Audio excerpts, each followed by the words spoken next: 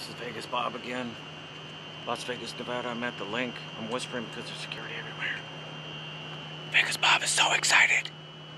He can't wait to ride the cars. December 15th. Here's one of the cars right here. Top secret video. High roller. Here's the bearing right here.